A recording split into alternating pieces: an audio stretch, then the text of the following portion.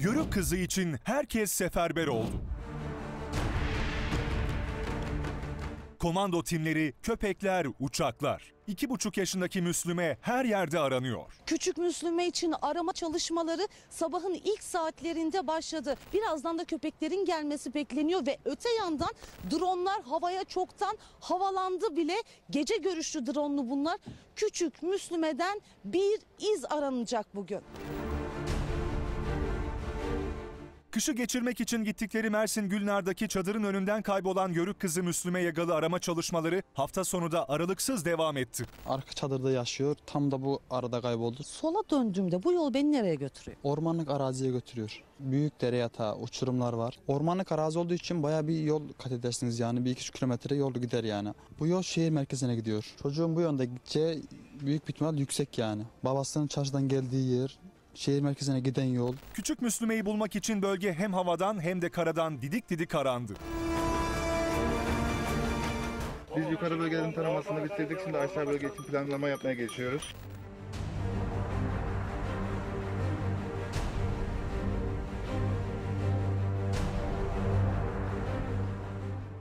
Vatandaşların da seferber olduğu çalışmalara iz takip köpeği ve kadavra köpeği de destek verdi. Mersin itfaiyeden getirilen canlı arama kurtarma köpeği şu anda aşağıya eğitmenin tarafından indirilecek ve buradan da dağlık alana çıkartılacak ve Müslüme'ye dair bir iz arayacak Melo. Hadi bakalım Melo. Dere yatağına kadar 3 köpeğimiz de e, ilk gün olsun hem bugün olsun buraları da komple böyle köpeklerimizle birlikte taradık. Kaybolan şahsın kıyafetini istak köpeğimize koklatıyoruz. E, O şekilde çıkış noktası verip koku izini yakalaması için arazide gezdiriyoruz. Devam et oğlum. Göster bana.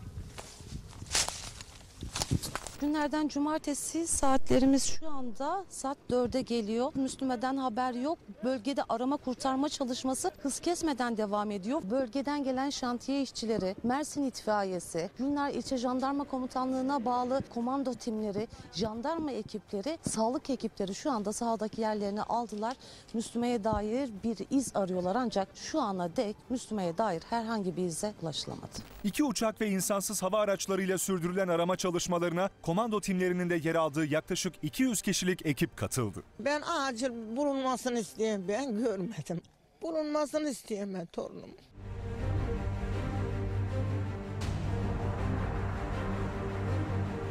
2,5 yaşındaki yörük kızı için bakılmadık taş aranmadık yer kalmadı. Her ihtimal göz önünde bulundurularak dere yatağı ve kuyularda da Müslüme'den biri zarandı. Müslüme'nin annesi kızının ayak izlerini işte tam da bu bölgede olduğunu söylemişti.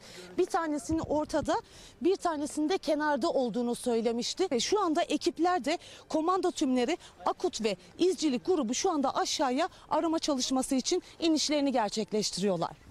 Yan yana devam edelim. Belki çalılık gelecek, belki kaya gelecek. Onda biraz durun, biraz ilerleyin. Yanınızdaki arkadaşınızı kaybetmeyin. Minik Müslüme'yi arama çalışmaları hava kararana dek sürerken sabahın ilk ışıklarıyla birlikte kaldığı yerden hız kesmeden devam etti. Günlerden pazar sabahının ilk saatlerinde Antalya İl Jandarma Komutanlığı ekibi tarafından getirilen pense kadavra köpeği de bugün arama çalışmasına eşlik edecek. Ardından Akut, Mersin İtfaiyesi, komando timleri de arama çalışmalarına kaldıkları yerden devam edecek.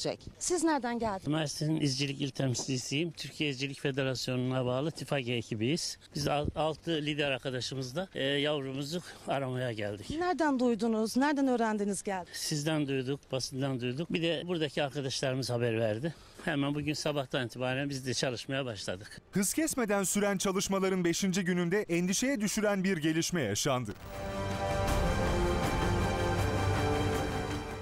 Çadırın yaklaşık 70 metre uzağında bir kan izine rastlandı. Çadır hemen arkada yer alıyor. Burası güneyde 70 metre uzaklıkta görmüş olduğunuz taşın üzerinde bir kana rastlandı. Olay yeri inceleme ekipleri geldiler. Keşiflerini yaptılar. Ailenin tüm bireylerinden kan örneği alınması için de kuruma götürdüler. Taş üzerindeki kanın Müslüme'ye ait olup olmadığının anlaşılması için tüm aile üyeleri Gülnar Devlet Hastanesi'nde kan örneği verdi. Örnekler incelenmek üzere Ankara Kriminal Daire Başkanlığı'na gönderildi. Menfezlere ağaçlara bakıldı, su koyularına bakıldı. Yeniden dere yatağına inildi ve Müslüme'ye dair bir iz arandı. Umutların bir an olsun tükenmediği arama çalışmaları hala sürerken gözler Müslüme'ye galdan gelecek güzel haberdi.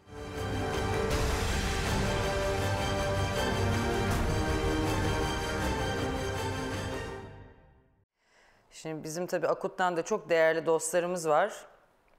Ee, onlardan biri de Çiğdem Tan. Okuma yazma seferberliğinde de gerçekten tüm güçleriyle yanımızda olmuştu Akut.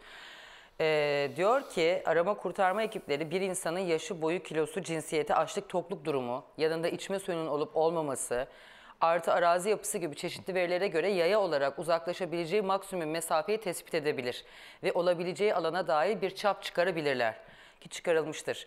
Bunların algoritmaları ekiplerde vardır. Çocuk o çap içinde çıkmadıysa o çap içinde olmadığı içi, o çap içinde olmadığı içindir. Tavsiyem dereye, aile içine ya da kaçırılmaya odaklanmanız olacak. Zira orada olsaydı 80 kez bulunurdu. Sevgiler demiş sevgili Çiğdem Tan. O da bu işin yıllardır içinde olan uzmanlarından biri. Akut'un çok değerli bir üyesi. Ne yazık ki çocuğumuz yok. Şimdi e, anneyle bir röportaj yaptık. Bağlantılardan önce size onları izletmek istiyorum. Anne diyor ki ben bir yere kadar çocuğumun ayak izlerini gördüm. Orası da e, az sonra Zeynep'e de göstermesini rica edeceğim. Eve yaklaşık 300-400 mesafe, 300-400 metre mesafe. İşte en baştan beri söylediğim o. Bir çocuk o kadar yürür. O yaştaki çocuk o kadar yürür. Hiç kimse onun üzerine laf söylemesin. Hala da o küçük Leyla için içim yanar. Yani keşke böyle kuş olup uçabilseydim oraya ve o evleri arayabilseydim o çocuk yandaki evde canlı çıkacaktı. O çocuk orada canlı çıkacaktı. O küçük çocuk Rahmi Bey de çocuğun konuşmasından anlamıştı Kürtçe konuşurken. Çocuk söylemişti. Burada demiş o çocuk açlıktan ölmüş orada tutulduğunda. Biz o yayınları yaparken onlar oradaki yan evde o çocuğu tutmuşlardı o Leyla'yı. Yok meclis kararı lazımmış da köydeki evleri aramak için falan sanki Irak'a çıkarma yapıyoruz. Meclis kararı lazımsa da ar- aranır başkan. Kaç kişi varsa orada kaldırır elini yani oradaki küçük çocuk için evlerin aranmasın diye hangi milletvekili karar Hayır verecek, oy yani. kullanacak yani. Herkes der ki tabii ki aransın. Ee, eğer o lazımsa ya da aç- açacak herkes evini zaten 20 hane herkes birbiriyle akraba yani ben ne olursa olsun ya Müge Anlı olarak söyleyeyim bizim sitede kedi kaybolsa kapıyı polis çalsa bir dakika sizde mi kedi arayabilir miyiz dese bende değilse eğer ben Benim de bir almamışsam korkum kediyi Açarsınız. benim Senin de bir korkun yoksa buyurun. derim ki tabii ki buyurun gelin Gayet istediğiniz tabii. her yere arayın. Gayet tabii. Yani nasıl hele bir çocuk çocuk kaybında ben nasıl kapımı Bir kapatabilirim? can, bir çocuk. Arama izni mi isteyeceğim polisten böyle bir durumda? Herkes iyi niyetli olan kapısını sonuna kadar açar. Bunun dışında davranan zaten olayın muhtemelen içine karışmış e, kötü niyetli bir kişi. Tüylerim diken diken Evet. oluyor. Ben o Leyla'yı hiç unutamadım o, o kızın o güzel Hiçbirimiz gözlerini. Ee, yani çocukların yürüyeceği yer vardır, yürümeyeceği yer vardır. Kimse kendini kandırmasın. O çocuğu, o çocuğu birisi hiç etti. İnşallah alıp bakmak için bir yere götürmüştür. Bu yayını yapmamın nedeni o. Çünkü inanıyorum ki konu, komşu, akraba tanır. Bir çocuk geldi der mahalleye, köye, eve e, ve haber verir. Yani inşallah şu an bilemediğimiz başka bir e, durum vardır. Çocuğumuzu sağ salim bulalım. Her zaman ben mucizelere inanırım. Ee, mucizeye inanmak da insanı diri tutan bir şey. İnşallah çocuğumuz e, sağ salim bulunur. Benim benim oğlan da yine orada. Köpeğimiz. Melo. Melo'yu da bari bir gün şurada bir misafir edelim. Fakat o kadar da terbiyeli köpekler ki neye verdiğin oyuncağı alıyor, ne verdiğin yemeği yiyor. Hiçbir şey şey yapma. O kadar terbiyeliler ki. Bak bak bak benim eee Melom canım benim. Şimdi bir anneyi izleyelim. Bakın anne ayak izlerinden bahsediyor. 10 Kasım'da Mersin'in Gülnar ilçesine kurdukları çadırın önünden kayıplara karıştı 2,5 yaşındaki yörük kızı Müslüme. O sırada çadırın içinde annesi yemek yapıyordu. Siz obanın içindeydiniz. Orada yemek yapıyordum odanın içindeydim ben. Gösterir misiniz? Nerede kayboldu? Şurada kayboldu. Burada çocuğum burada çöp bisikletinle oynardı. Burada kayboldu. Anı göz anı içinde ne ektiğini bilemedim. Peki diğer aile üyeleri Müslüme'nin kaybolduğu sırada neredelerdi? Benim oğlan kaynanam kaybolmuş. Çok öğren daha önüne şöyle ileri gitti. Şam ağaçları var ya biz şam deriz. Tepedeki tek ağaç mı? Oğlan ötesinde Kerem ebesi dedesi. Osman o sırada neredeydi? Hemen şurada varın girdiği işte var o bir yer var ya. Ondan aşağı değil Osman. Müslüman da buradaydı. Müslüman burada oynardı.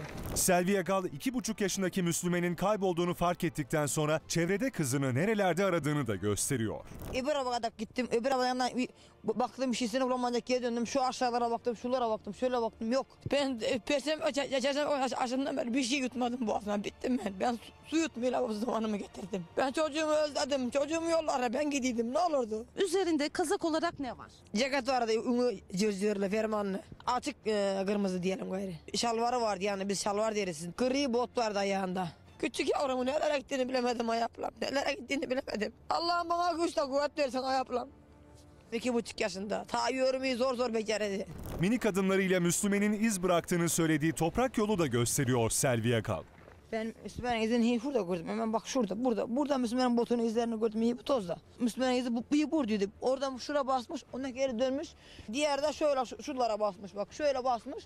Şuradan kadar evden tarafa o yönü dönmüş. Burada ayak izlerini yitirdim. Başka yok. Burada. Burada yitirdim izlerini. Toprak yolda. He, toprak yolda burada yitirdim. O yana gittiğini de bilemedim. O yana- evde yana gittiğini de bilemedim. Burada, izini burada yitirdim ben. Başka yok. Başka bastığı yerleri göremedim ablam. Ben burada yitirdim işte başka yok. Bizim devamlı gelip gittiğimiz istek yollarımız burası. O yana dağlık. Yani burası düzmeye gider bu yana suda çıkar. Ama özelden ötesine gidemezsin yani. Benim tahminim çocuk bu tarafa gitti. Bu tarafa Asat tarafa Asat yoluna gitti yani. O bölgede hiç böyle sizin gibi başka bir çadır falan Yok yok yok yok. Selvi Yagal'ın ayak izlerinin bir yerden sonra kaybolduğunu söylediği bu nokta çadıra yaklaşık olarak 300 metre uzaklıkta. Anne Selvi Yagal'a göre tüm arama çalışmalarına rağmen hiçbir ize rastlanmayan kızı kaçırılmış olabilirdi. Bu yola gitti ileri vardı. Orada yani bir insanoğlu gördü. Aslında çıktı şüphem de var benim yani çocuk hareketliydi biraz. Benim şüphem çocuğumun bir el, elinde yani bir el götürdü çocuğum. Çocuk, çocuğumda bir el var. Dağlardan umudum geçti. Kimsesi yok biz bunu alalım gidelim dediler. Evlerine ilettiler sığındılar. Bu yıl ekip çıkınca ceza ederler bize şey yaparlar diye. Onlar geri göstermiyorlar diye şüphem onda kaldı.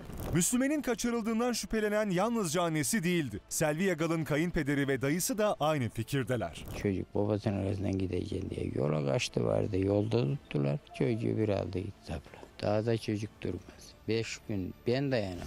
Bu bölgede olmayınca ben çocuğu kaçırılmış olabileceği ihtimalinde düşünüyorum. Yani şu da olabilir. Çocuk rast gelir alır. Yani nereye gitse ararlar. Bunu ben de haber veririm. Haber veremeyince suçlu duruma düşerim korkusuyla acaba bir yere bildiremez mi? Gibi de bir düşüncem yok değil yani. ATV YouTube kanalına abone olun, hiçbir şeyi kaçırmayın.